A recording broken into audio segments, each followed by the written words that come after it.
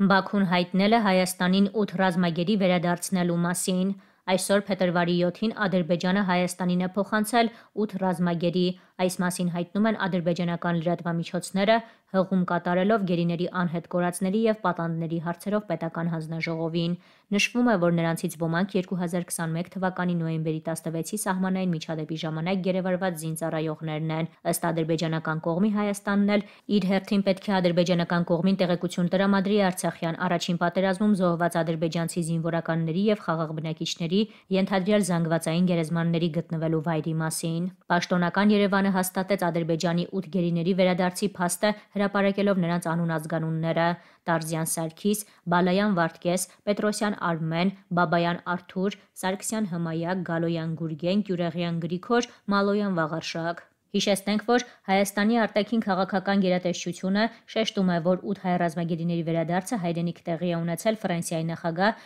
Էմանուել Մակրոնի եւ Եվրոպական խորհրդի նախագահ Շարլ Միշելի միջնորդությամբ փետրվարի 4-ին տեղի ունեցած հերավար հանդիպման արդյունքներով։ Այսպիսով մինչ օրս Ադրբեջանը Հայաստանին է հանձնել գերեվարված ընդհանուր թվով 149 զինծառայողների եւ քաղաքացիական անձանց։ Պաշտոնական տվյալներով ադրբեջանական բանտերում դեռ պահվում է 44 օրյա պատերազմի ընթացքում եւ հետո գերեվարված մոտ 4 տասնյակ հայ։